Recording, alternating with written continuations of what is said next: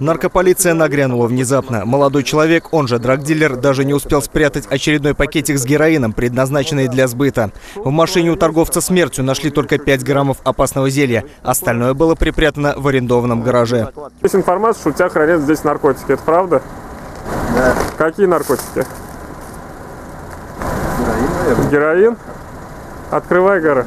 Подозрения оправдались. Среди вещей обнаружили еще 100 граммов дурмана. Частицы наркотика остались и в кофемолке, в которой наркоторговец перемешивал героин с сахаром. Как сам потом сказал, чтобы вес был больше. А наркотики это для чего? Я не знаю, затрудняюсь. Затрудняешься? А где взял хотя бы? Нашел Нашел? А где нашел?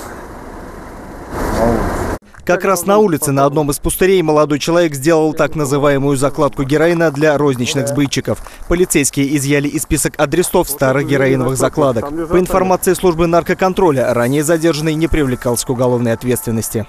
Он ранее не судим, является образцовым семьянином, ведет здоровый образ жизни, наркотики не употребляет. А, По его словам, он работал за конкретную оплату своих услуг. В настоящий момент в отношении этого человека возбуждено уголовное дело, и его преступные связи устанавливаются. Павел Баймаков, Владислав Манин. События. Где затрудняешься ответить тоже?